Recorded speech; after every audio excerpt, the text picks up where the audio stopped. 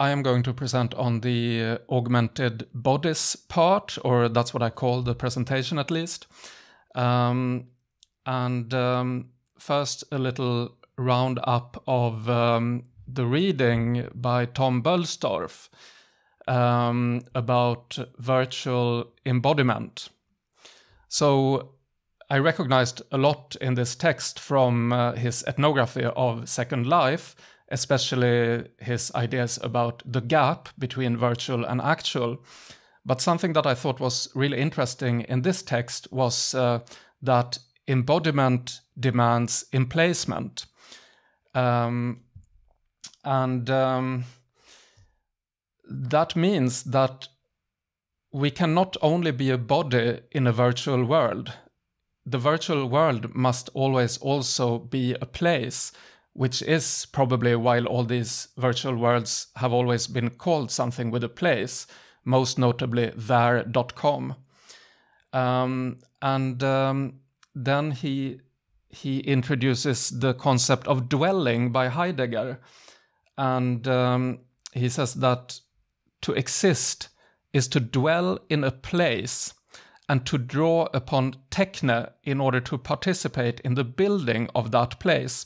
So here a third aspect comes in, which is techne. And that's what I have tried to illustrate in this little um, triangle. So the body in a place doing something becomes techne. Um, let me see if he. Um, yeah, and and also the way that this happens is um, place as in Chora, not place as in topos, because topos is just a place, but Chora is a place that is actually created through techne. Um, and he also cites Merleau-Ponty, um, who regarded embodiment not as a thing in objective space, but as a system of possible actions a virtual body with its phenomenal place defined by its task and situation. And then this beautiful quote My body is wherever there is something to be done. So that's all Merleau-Ponty, 1962. Um, and um, I think that's really beautiful. I, I think it's not a coincidence that Tom Boellstorff is a linguist uh, originally, because uh, you can almost see uh, if you analyze a sentence, you analyze it in subject, predicate, attributes, and so on. And here we have the subject, the body, uh, the predicate, the action, uh, creating something with techne, and the place as a locative uh, attribute. So um, let's see here. Um, this is the construct. Okay, so what you saw was a clip from the film The Matrix, obviously, and I think that it beautifully illustrates that uh, you can't be a body uh, without place. The place must always be there, and this is such a strange situation because there is no there is no background sound, there is no background at all, and uh, it's Weapons. we are not used to seeing anything like that, so it's an anomaly. Anything we need. Right now, and uh, again, Boellstorff uh, talks about the gap between the virtual and actual, and he mentions that it is constitutive of bidirectional meaning making, value production, subjectivation, and social praxis. Um, so these things go in two directions between our actual world and the virtual world. He mentions that it is indexical, not teleological. So indexicality is uh, it comes from linguistics uh, originally, and it's used in anthropology now. So it's about a sign pointing to some object in the context um, instead of teleological, which is that it's based on its purpose. I'm not fully understanding these concepts yet, but I really like how he introduces it, uh, how he introduces them, and um, and also how he even says that the digital in itself is a gap between the one and the zero. So that demands some further reading, I think. So he also uses Avatar, the movie from 2009, as an example of uh, embodiment in physical form. You Jake Sully? I'd like to talk to you about a fresh start on a new world. Where humans can remote control artificial bodies in areas where human bodies can't live. Marine in an avatar body. That's a potent mix. You get me what I need, I'll see to it you get your legs back. Your real legs. Hell yeah, sir. Looks like you. This is your avatar. That, that's like uh, a way to be safe, to have a safe distance to the body that you are controlling. A bit similar to drones, you know, to sit in an in another country and remote control a drone that can cause harm in another country, but you are perfectly safe. Uh, actually, bomb planes uh, functioned in the same way as a way to distance yourself from the ground and be more safe. But of course, bomb planes can also be uh, shot down with certain equipment. And even firearms was a way to distance yourself from your target. But of course, when the opposite side also had firearms, it was not so safe. But all these things show that distance matters, and there is always a gap that is. Um, yeah, it's closing and opening the whole time.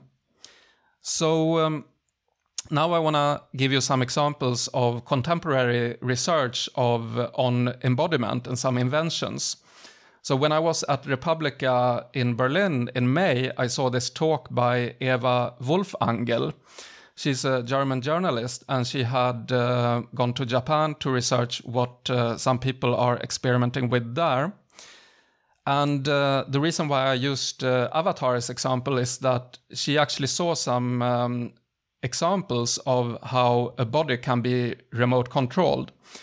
Um, first of all, what she's doing on the left image here is that she controls two robot arms with her feet. So she's giving herself a high five uh, by moving her her foot. But what an exos exoskeleton can be used for is actually to, for example, well, they mentioned that doctors can remote control a person uh, who can perform things if the doctor can't uh, be at the scene. I don't know how safe this would be at the moment, but maybe in the future.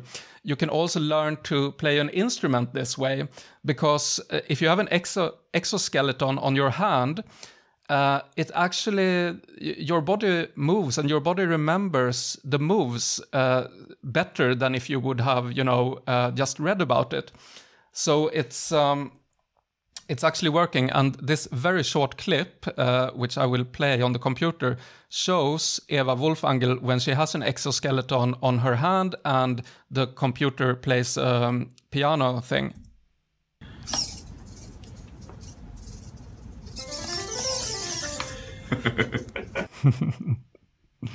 One more time.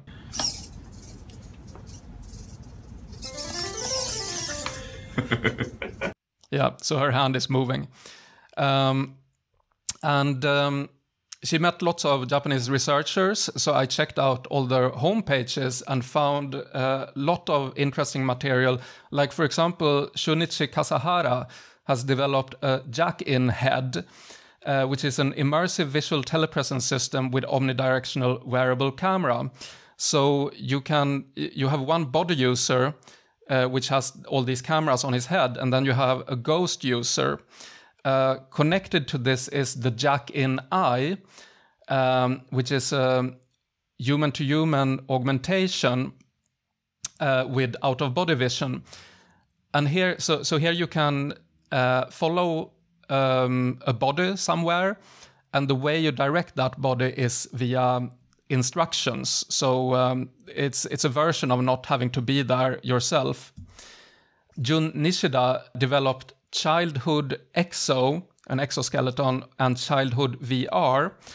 So the exoskeleton is a hand which has a smaller hand inside, which mimics how a child grips things and the childhood VR are the two cameras that you see on her belt.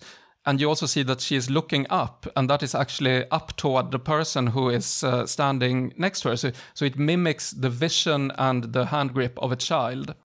Jun Nishida also developed remote control via EMS, which is um, uh, electrical muscle stimulation. Actually, I think that this clip uh, from Eva Wolfangel's talk is worth watching, so I will actually paste that as well here. So you know maybe this experiment with a pen. So here's no pen, but you see it here. so one drops a pen and the other person has to catch it, and you have your hands directly above each other. And this is really not possible because our reaction time is too long. Because when you see that this, the person is opening his hands, then the signal has to go from, from your, your eyes to the brain, and then from the brain to the hand. And when you close your hand, the pen is already dropped. But what I did, I catch this pen. So I'm really good. But no. As you maybe know already, I was remote controlled via this electric muscle stimulation. They say EMS. And since since she didn't show any video, uh, you can also watch here just 13 seconds to see how it works in reality.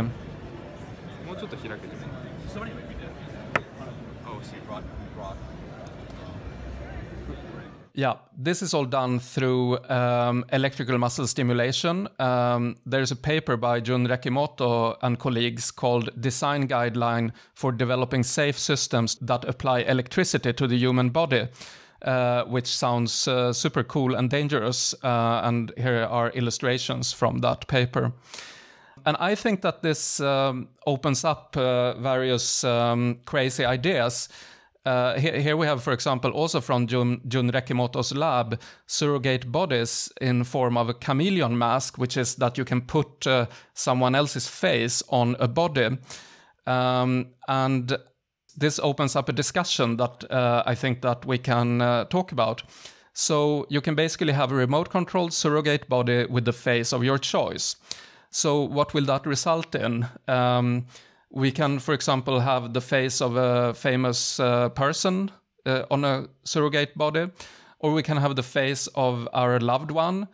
Uh, will that make us think of uh, bodies in a different way, as not as um, important and connected to the person as we do now? Uh, will this create new lines of work for people who um, sell their bodies to be used in that way? Will it create a new underclass? Will it create a new jurisdiction? Because, you know, it's uh, illegal to do anything you want with your organs, for example, which could also be a way to earn money. And will it create a new warfare full of uh, armies of uh, remote controlled um, cheap labor? you know, you never know. In the light of that, sex robots is actually the less scary solution or the or the less radical solution because after all, that's just a development of the dildo or of a sex toy. There is no um, actual human behind it. But even so, it's um, sex robots too are uh, closing and thereby reinforcing the gap, just like Tom Boellstorff says. Uh, I mean, a sex robot is closer to the actual reality than uh, another sex toy, but uh, by getting close, by by trying to close the gap, they at the same time reinforce it, according to this theory that uh, Boellstorff puts forward. And but there have been protests against sex robots too. Yeah, so I will end there. Um, yeah, thanks.